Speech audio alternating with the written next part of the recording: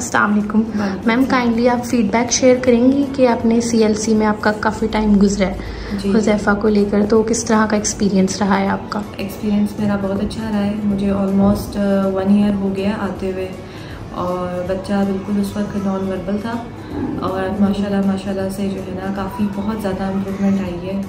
और मतलब कि मुझे बहुत अच्छा लगा यहाँ पे प्रोफेशनल हैं सारे स्पीच थेरेपिस्ट बहुत प्रोफेशनल हैं, बहुत अच्छा काम किया, बहुत मेहनत से काम किया और ए बी ए की टीचर्स बहुत अच्छी हैं। और सबसे अच्छी बात ये लगी है कि हमें असेसमेंट्स हमें मिलती रहती हैं, बच्चे की प्रोग्रेस मिलती रहती है वीडियोस मिलती रहती हैं कि काम हो रहा है उस पर तो ये काफ़ी जो है ना इसमें ये पॉजिटिव है कि पेरेंट्स ने घर पे भी किस तरह उनको लेके चलना है, क्या काम करवाना है। तो एक्सपीरियंस तो मेरा यहाँ पे बहुत अच्छा रहा है।